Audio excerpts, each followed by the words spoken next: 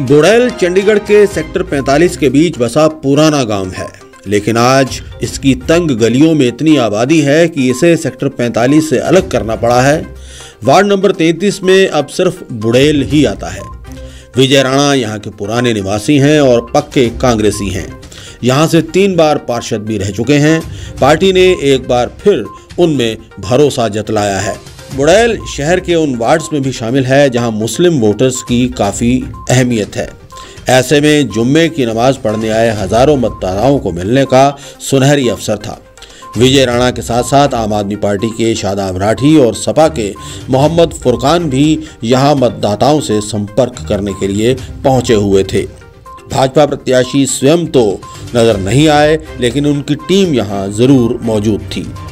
राणा का कहना है कि बुड़ेल के मुस्लिम समुदाय के साथ उनका पारिवारिक नाता रहा है और ये रिश्ता हमेशा यूँ ही बना रहेगा।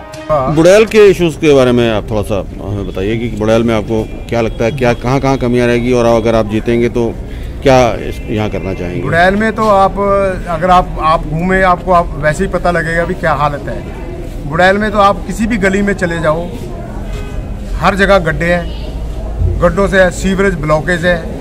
मतलब इतनी की समस्या है भी समस्या ही समस्या है। ये ऐसे तो जो स्लम एरियाज़ होते हैं ना वहाँ भी नहीं ऐसा होता जितना बुरा हाल बुड़ैल का है। जी।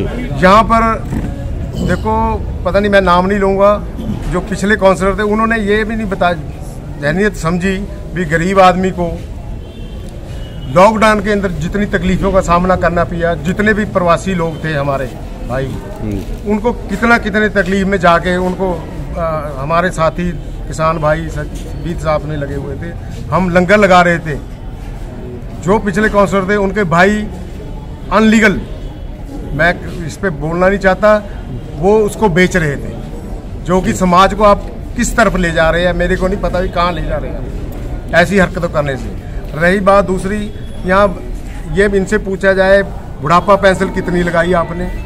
विधवा पेंशन कितनी लगाई? मतलब अच्छा सफ़ाई के बारे में आप जाके देखो।